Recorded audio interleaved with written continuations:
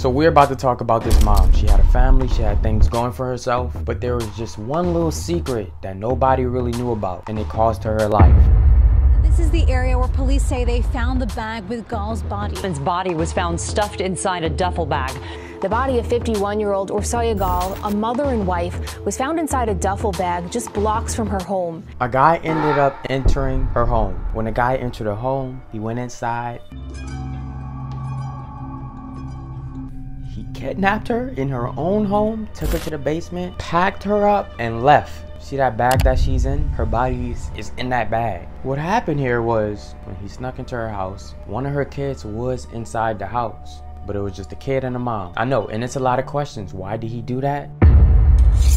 Is this guy some stranger? What did she do to even make this happen? But we're about to get into that little secret that I was telling y'all about because that's the whole reason why this all happened. Got a secret, can you keep it? One of the neighbors seen they seen a child that was home left with the mom handcuffed. What happened there was the police was questioning the kid. The kid didn't even know what was going on the whole time. Better lock it in your pocket, taking this one to the grave. And what was happening to his mom while he was in the house in his room. Could have been on a game, he probably could have been asleep. He was handcuffed, he was questioning, but it turned out he had nothing to do with the crime at all. Because that guy who had her in a bag put her body right on the side of the road left it there, and he went off. That father and the other son was also in questioning, but since they was out of state, they was safe. Now, there is one more thing that I need to tell y'all. The first person that they really wanted to look at though was the father. Some people thought it was a little bit odd that when you leave, somebody broke into the house and kidnapped your wife. So since people was a little on the edge about that, they was like, was it him? That was just an speculation though. Wasn't true. This remains an active scene here in Forest Hills. Let me give you a live look behind me right now so you can see for yourself. Now detectives just arrived here at Orsolya Gaal's home moments ago. The woman's husband and son were potential suspects in the case. Sources tell us police no longer consider them persons of interest. So that leaves us with one thing. Who was that guy in the surveillance camera? Well, guess what? Said, cause two can keep a secret is one of them is dead. So the secret of all of this is this guy named David and the mom had a secret relationship. It all started out when she hired this guy to do some work for the house built up from there. She started doing this secret relationship with this guy while having a family, husband, kids. And the day of her murder, you can see the guy who she secretly was in a relationship with on the surveillance camera. The day of her murder, earlier that day, he was planning on murdering her later on that night. See him in the surveillance camera here. And then like, this guy could be allegedly the killer. He goes to court and I know why all of this happening, you most definitely got a confused family right now. Something that probably they didn't expect at all. And get this though, it was also said that there was on and off for two years. So she was cheating on her husband with this guy on and off for two years. What drove him to the point though where he wanted to do this to her? He got a weapon, I think it was a knife, and did it 50 times. The people that I'm finding on these cases is just, it blows my mind because it's like you could be standing next to somebody right now, you, and it could be a person just like that. Now, I don't want to wish that on you, of course not, but you just never knew. Just like these girls didn't know at all. You know what? I don't even know what to say to that because I don't know how you escape these type of guys. I really don't because it's almost like you can't escape them. And the only way they escape them is them murdering you. Because if you run, they find you. Like, I really, I'm gonna be honest. I only thought these type of guys exist in movies till I started talking about a lot of true crime cases and I noticed that these guys, it's a lot of them. That's damn scary because I know all y'all girls, all y'all want these days is just some love. Yeah, we get it. Sometimes it don't last, but if a breakup happen, it happens. It's life. But guess what? You don't want it to happen. And if it happens, the worst happens. And the last part of this story that I have to say is, remember I said the guy snuck into the house? Apparently he went to the house. We don't know if he was invited or he just showed up, but she let him in. She knew her child was upstairs, asleep, let him in. They went in the basement. It was the perfect time since the other son, the father, were gone. And they started arguing. What happened when they argued? Couldn't handle not leaving that girl. When the investigators came to the house, when they was investigating everything, the murder weapon was left at the scene. So it was a crime of passion. I don't know. If this channel don't have y'all ladies on y'all feet and waking y'all up, then hey, live life YOLO. But for the ones who want to be careful, you got me here. These stories, it gets crazier by the day. now we're about to talk about these high school sweethearts. Natalie and Carter, they snuck out the house that late evening, and this was the last time these two will ever be alive.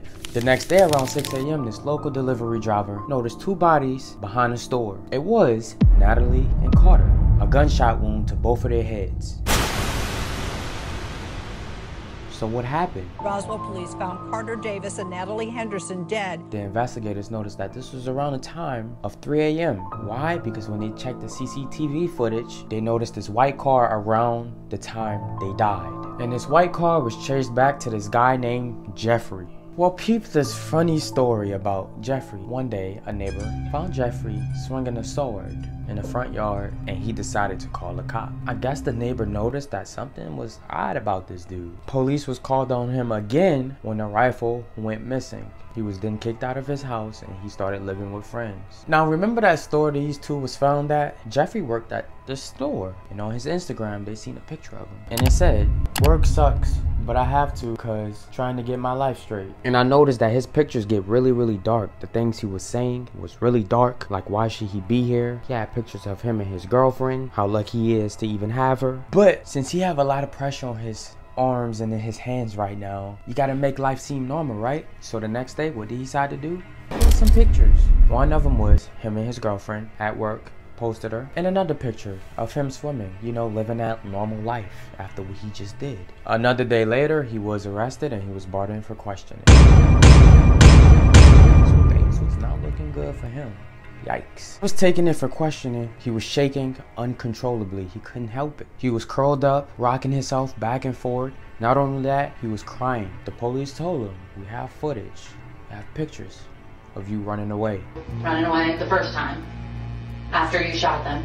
Running away. He confessed it eventually and he said he followed them in his alley behind the grocery store. He watched these two lovers making out in the back of the car, and they might not even see him. He's stalking them. Why? Because he climbed up to the roof of the store to get a better view. Eventually, he goes to the car where they was making out at. When they got inside the car, he tells them to open the door. Did you say, did you say to them when you opened the door? Listen, listen, get out, get out right now, right now. Did you hit him? Yes. Okay. What did you hit him with? So Jeffrey, why did you do it? He said the voices in his head told him to do it. The bad guy would have gotten you. That's the story that we're going with.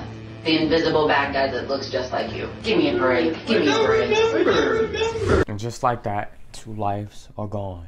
She will never get to fulfill her dream of becoming an architect. Natalie will never experience the incredible joy and love of having children of her own. She will never get the chance to change the world for the better. As her family, we will never again hear her beautiful singing or hear her playing her guitar around the house. Now, right now, we're about to jump into in the mind of these murderers. This is about to get a little bit deep, a little bit dark. There's this channel called this is a Spoon Studios, and they made this film. And I want to know, does it start at a young age? When they see it, do they really do get excited about it? And in this channel, she talks about the statistics while murdering someone. 92.35% of killers return to the scene of the crime the day after. She knows the miles, she knows the distance, she gets it all. 87.24% of homicides happen within 4.2 miles of the killer's home. And she noticed something. A lot of these murderers are men. And 98.67% of all authenticated serial killers are men. And as we know, in a lot of these murders, most of these murders are people that form this connection. Now, in this film, just like real life, she met this guy at work and she started to like him. And she fantasized about him. She wanted kids, a family. Wrong. Wrong, wrong, wrong, Usually for some people it's that simple. You gain their trust, you start a relationship. When it gets bumpy, it turns into a crime of passion. All I want to say is, with these murders, they do get caught, but a lot of them don't. Most importantly, these two was in love with each other. They spent their last moments kissing each other. That's crazy.